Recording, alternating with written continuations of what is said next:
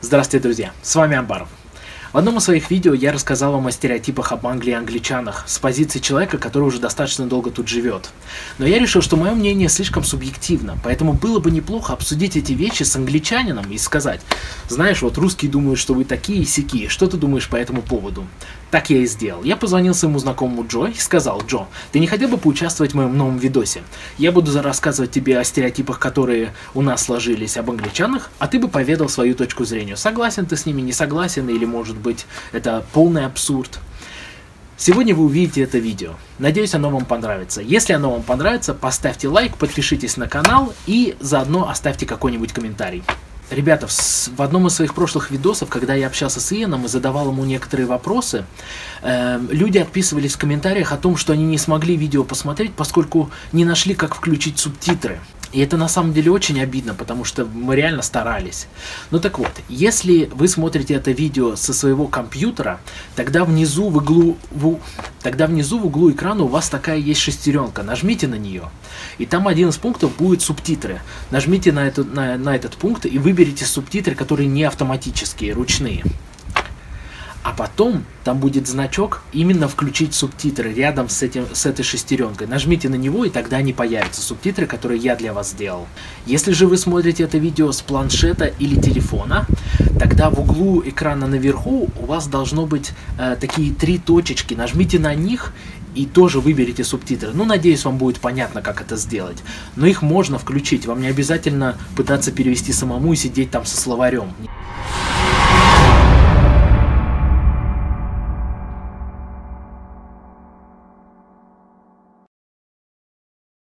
Everyone, it's me Kirill here and my friend Joe over here. Um, I recorded a video about stereotypes in England, about English people or England, and um, it's always subjective, you know, because it's I've, I'm not a I have well I've lived in the country for nine years, but that's not too much. And obviously Joe will will try to explain to me some of these things where they come from maybe and uh, why why are they on this list? I don't know. Uh, but as any stereotype, to be honest, if we were talking about stereotypes, uh, and I, I will say that I'm Russian, people would normally go something like well, I'm Russian, I'm drinking vodka for breakfast, and I'm a criminal. Yeah, but you actually fit that stereotype, don't you? Well, that's true. well, I don't always drink vodka for breakfast because Yeah. sometimes when I wake up, it's it's a lunchtime. Oh, of course, yeah, yeah, yeah, yeah. so um, yeah, I've got a list of 14 stereotypes here that I want to discuss with Joe. I'm gonna put the subtitles for people to read, so Okay. they all now know that. Um, but some of them are strange, and some of them could be offensive. But don't get offended. Just no, say I'm not this is crap. offended. Yeah. That's fine. Yeah. yeah, yeah. Go ahead. The first one is porridge. People think that in UK everyone eats porridge, a lot of porridge. Okay. Uh, I didn't. I wasn't aware of that. I. I don't think I've had porridge in maybe five years, so I don't fit that stereotype. Uh, Do you think it, it could be the age thing? Yeah, probably probably older people have a lot of porridge. I've Yeah. never. Yeah, I've never been that interested. I think. I'd rather have some chocolate, co- uh, cocoa pops or something for cereal. Oh right, yeah. So like this ready, ready breakfast Yeah, things. something like that, yeah, yeah. I think this stereotype came, comes from um, Russian interpretation of Sherlock Holmes. There was a one, one scene when when the guy approaching a lord and says, "Your porridge, sir." So yeah, I think it's a, it's a Yeah. famous scene. And That's probably from uh, Charles Dickens, what was it? Um, Oliver Twist when he, Oh, yeah. when he has the porridge. Yeah, he that's can, I, it. can I have some more, sir? Or something yes, like. I think that's it. That's it. Movies, they Yeah. movies and books. That's that probably where it comes from. Yeah. Another one. There is rain, there is hail, and where, where, where you don't clearly see. fog, mist, Fog. mist. Yeah, we, we call it yeah. misty land kind of deal. Uh, Yeah. the- what do you think about um, mist and, Uh, and rain in England? I think the rain's pretty fair. Uh, anywhere you go in England, you can guarantee the weather's going to be bad. Uh, maybe you have like five days in August where the weather's good. All right. Uh, that's about it. Yeah, we wear a t-shirt. That's interesting because when I was recording a video about stereotypes myself, Yeah. I was thinking that our area is, is quite dry, to be honest. Cambridge is like one of the only good areas. I think Yeah, like it's known for being naturally quite good compared to the rest of the country. Like that's it. where where the rest of the country will have really bad snow, Yeah, we'll get like one millimeter or something, Yeah. and you can't even Yeah. build a snowman. It's rubbish. Yeah, yeah, that's it. So, and I, yeah, I yeah. yeah, I think we don't see a lot of rain. Uh, we do see mist, but occasionally, not often though. Um, no, no. But with regards to rain, I actually cross compared it to Moscow and. St. Petersburg, and you know the, the it's lower. The you know the amount of I'm um, not surprised. I, I see. If you're talking about stereotypes, when I think of Russia, I think of snow. I think it's cold all year round, bad weather. Yeah. So, yeah. without probably realizing that there are some parts of Russia because of its size, Yeah. some parts of Russia that never see snow.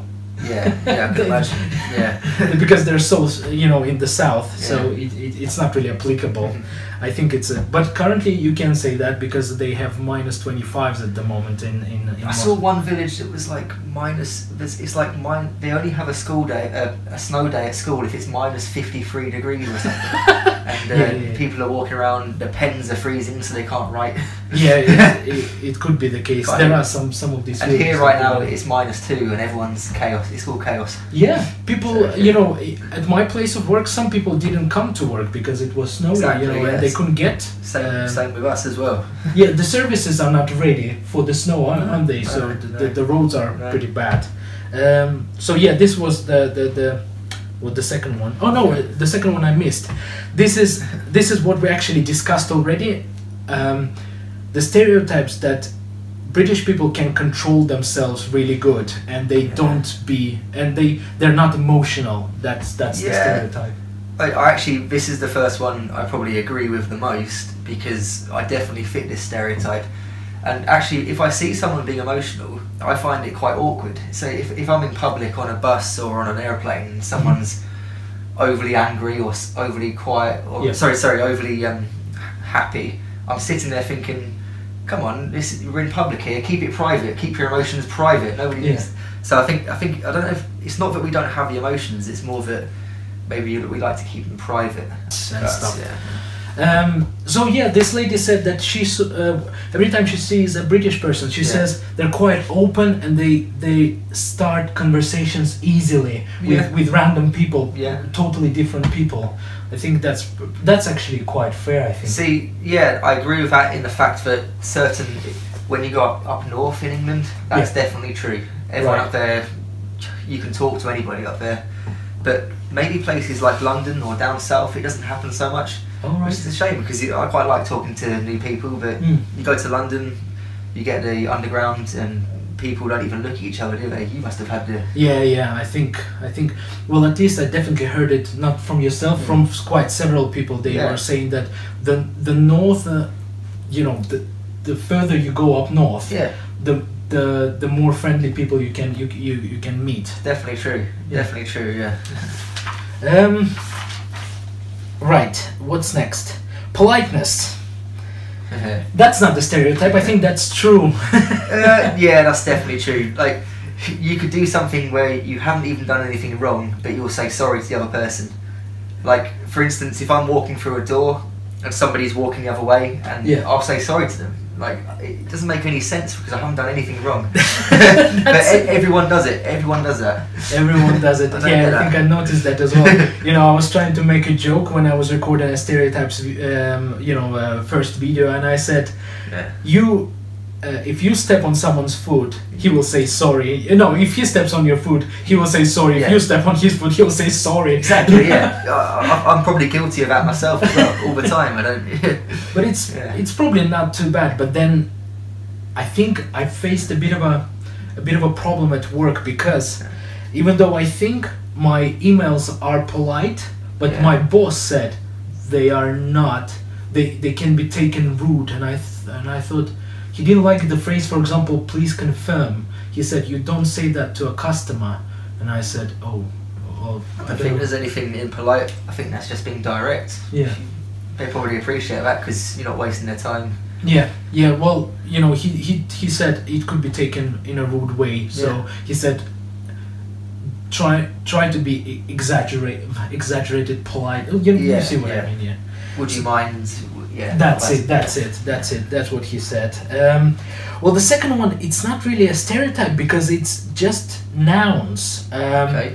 but you know, t- um, red buses, um, the telephone, um, these Telephone boxes. boxes. Yeah, yeah. yeah, and yeah, the, and the post um, thingies. I don't know. yeah, post post boxes. Yeah, post boxes. So the red the buses is it's only really well it's again like you said it's not a stereotype in London that's true the buses Yeah. are, the buses are red hmm uh, the rest of the country not not so No, they can be not. any color. any colours it's only that one's only only only really valid for London um, But Yeah. we do like buses with several floors here. I think that's pretty fair to is that say. not common in Russia then No, no. oh, okay no. yeah yeah it's we, we call them double decker double decker buses Yeah. Yeah very common Um, and obviously, and I think the telephone boxes they're mostly used by tourists these days. Uh, yeah, they're used by tourists and also homeless people who go to the toilet in them, probably.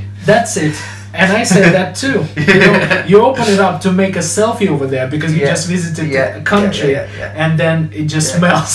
yeah, it's, yeah, that's it's, yeah, so, yeah, that's that's the main use. Some some places, I know some villages, they um they turn them into a, like a library.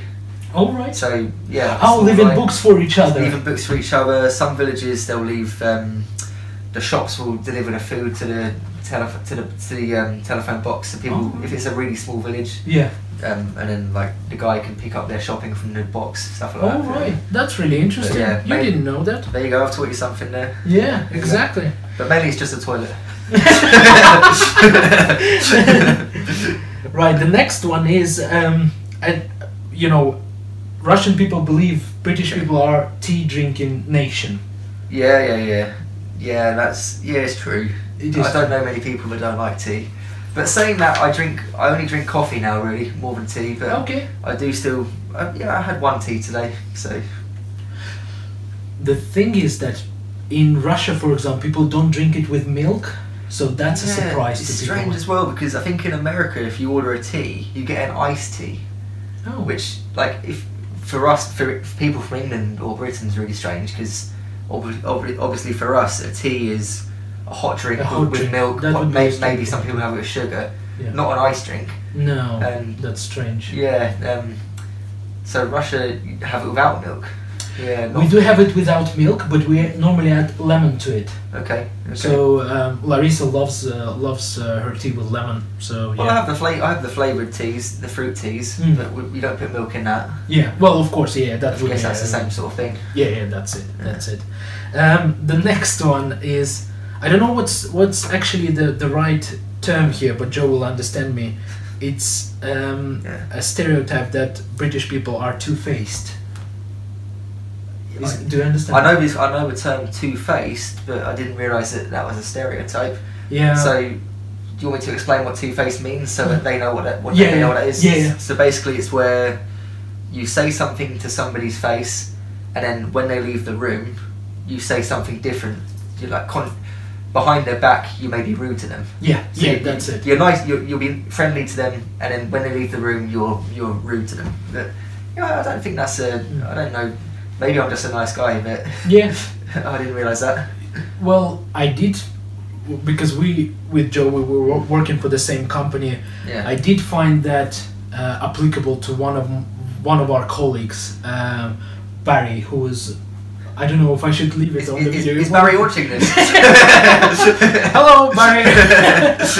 so um, he obviously didn't tell me that, but one of my other colleagues, he Yeah, said, I "Be careful with him. yeah. You say something, you leave the room, and he will he will say something bad about you." Yeah, I understand. Um, you you sort you sort of learn the people who are two faced, but it's not many people to be honest. Mm. Well, that that I know of. Maybe Yeah. there, maybe there's more that I don't know about, but That's it. yeah, I think um, maybe there's maybe a lot of what we call bit. Can I swear? Bitching, All right. What's which is like talking behind someone's back, I guess. But Mm. yeah, bit, bitching. If you're working in an office, there's normally a lot of bitching. All right. But yeah. I think it's just gossip. It's just people like to gossip. Yeah, that's it. I think it's actually it's not a unique feature of England. It's Yeah. everywhere. Yeah, to be honest, like Uh, adult people, Yeah. adult people just like that crap. Yeah. You know, talking. Oh, have you heard? Yeah, it's exciting. You come to work and oh, have you heard that so and so has done this and uh, that's it. That's they might it. get fired or whatever. I. That's it. Yeah, people love this crap. that's why we probably watch news. No optimistic news over there. It's only crap. Yeah, that's true. That's true. The next one um, is an interesting one because we're well. I'm drinking um, um an energy drink because uh, I'm driving, but Joe is having a cider. The next one is um, British people are drink like a drinking nation. Yeah, I, yeah, definitely. I don't know if it's a younger thing. When I was growing up um, with my group of friends, it was like every weekend you just want to get drunk, and even Yeah. maybe on a Wednesday as well, Tuesday, maybe a Thursday. now, it, now it's just a weekend. Even, yeah, even now, like uh, on a Saturday, I want to get drunk probably tonight, maybe. Mm. Yeah. And, Well, uh, uh, to be honest, I- I'm here. I'm drinking energy drink, but at home I've got a few pints of beer and, and a bottle of wine. yeah, yeah. So well, that's exactly it. I mean, uh, I don't, I don't think I drink any more than you. I mean, Mm. we probably, we've had nights together, haven't we? Where we've had vodka and whatever I think, else. Joe, it comes. I think it's only my assumption. Actually, when I was recording that video Yeah, about yeah. stereotypes, Yeah. I did go to a website um, that uh, gives you information on average uh, alcohol consumption Yeah. per country. Yeah. And UK wasn't on the top of the list No. in Europe. No. They were like in the middle. So France and all these other countries they drink more. Can I can I tell you why this stereotype is? Yeah. is It's because the British people, young people, they go on holiday to Spain, Ibiza, um, Greece, and basically the whole idea of the holiday is to spend a whole week as drunk as possible, and they cause a lot of trouble. Yeah, they cause a lot of trouble, a lot of time, cause some Yeah. damage. When I went to Poland actually um, a few years ago, they wouldn't let us in the club because they said, "No, you're English. You're just going to cause trouble." Oh really? we weren't drunk or anything. Well, maybe a little bit drunk, but um, Hmm. they yeah we queued up for forty five minutes and they said no no you're English you can't come in because you're going to cause trouble. I think that's where it comes from. It's it's not that we drink more. It's that when we go on holiday, there's a lot of people who tend to Mm. cause trouble, make some damage, uh, drink too much. Yeah, yeah. think- But I think sink off the maybe- balcony. It is actually, if you think about it, it's a logical way of getting this stereotype. It's not Yeah. that. It's not probably people who spread the word who come in UK. It's probably the people who see uh, the tourist and judge them on on their behavior. Exactly, yeah. If you come to if you come to England, say if you come to Cambridge on a normal week, you're not going to see people causing No, no. trouble in the streets every day. I actually think part of it it could be um, because all the pubs are quite busy, but then people don't drink a lot there. They just sit with one pint for a few hours, just chat with their friends because they like to see. A lot of the elderly people I notice Yeah. they just use pubs as a meeting, you know, like meeting point. Yeah, I don't know because even we just went we just went for one drink, didn't we, in the pub? Yeah. And what's the time? Nine o'clock. Yeah. When we were there, it was eight o'clock. Or, or eight o'clock already. People were drunk, weren't they? Well, So- yeah, that's true. Yeah, so, well, Yeah. not every single pub is the same anyway. Um, Right, the next one is quite offensive, but don't get offended. And I don't know how it come, Don't worry. how it actually came. Okay, go on. it says uh, British people are bad lovers, and I'm and I'm and, I, and I'm thinking, how did that stereotype came? Did, did just a lot of people come to try? then did, Um, I don't know. I mean, I don't think it's. Hopefully, it's not true. Uh, yeah. I've never had any bad remarks. That I don't think. To any. no, I don't know. I don't know. I don't know where that came about because it's, it's a weird one. Because French people are considered to be good lovers, and probably Spanish as well. But British people, I don't know. Yeah, they get we get a bad rep for no reason. I mean, Yeah. I, I, all I can say is um, just come along, come to England, and just see for yourself. Uh, yeah, yeah. I'll The, give- the, the Kirill- more the better. Kirill, Kirill will give you my address. yeah, anyone who wants to try Joe and make their own decision. but he prefers females, right? So yeah, yeah, yeah, yeah. yeah. Let's make that clear. Make that clear. Yeah. um, I'm actually thinking. What, what was it? I was gonna say something. I was trying um, to make a joke out of this uh, Yeah. when I was recording a video. I don't have experience myself, but what I'm thinking, based on the fact how many of these websites out there yeah. that are purely used to find yourself uh, a one night, uh, you know, you know, girl. One stand, one night stand. Yeah, exactly. Yeah, You you sh- you think people do practice a lot? they probably, you know. Yeah. Yeah, uh, yeah. yeah, there's a lot of people on those websites. Exactly, exactly. So, Yeah. you know, and and if you're practicing, how can you be bad? You know. Exactly, practice makes perfect. or is it something like if you do something 12 times, you become an expert? Yeah. That's it. There you you go. know. I'm, I'm on number 11 now, so I'm, I'm nearly an expert. Nearly there. nearly there. right. The next one is actually related to, to the one we already discussed about emotions. Um, food. It says the stereotype is that Britain has a bad food. Do you think? Yeah, I think I actually do agree with this one because uh, if I was going to choose a restaurant to go to, I, Yeah. I would probably choose Indian curry, um, Italian, or I don't know, something like Mexican or something. Yeah.